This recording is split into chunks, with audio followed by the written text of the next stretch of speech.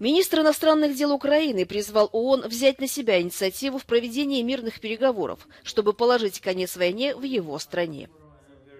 В интервью агентству Associated Press Дмитрий Кулеба сказал, что украинские власти хотели бы, чтобы площадкой для мирного саммита стала штаб-квартира Организации Объединенных Наций в Нью-Йорке.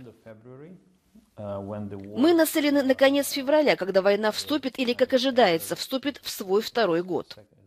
Мы считаем, что лучшей площадкой для проведения этого саммита могла бы быть Организация Объединенных Наций, потому что речь не идет о том, чтобы сделать одолжение какой-то стране. Речь идет о привлечении всех сторон. Предварительным условием для начала переговоров, по словам Кулебы, станет полное восстановление территориальной целостности Украины, включая Крым. Мы сделаем все, что в наших силах, чтобы следующий год стал годом украинской победы. И эта победа подразумевает полное восстановление территориальной целостности Украины. Мы не будем вести переговоры ни об одном квадратном метре, сантиметре или дюйме нашей земли. Это выходит за рамки переговоров. Отвечая на вопрос о приглашении на саммит России, Кулеба сказал, что такой шаг возможен только после проведения Международного суда по обвинениям в военных преступлениях.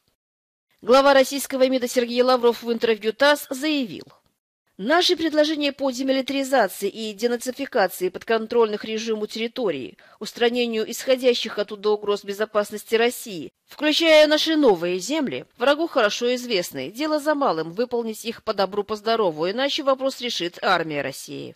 В Москве продолжают заявлять, что приложат все усилия для достижения изначально поставленных целей военной операции в Украине а недавние маневры в Беларуси вызвали опасения нового наступления с севера.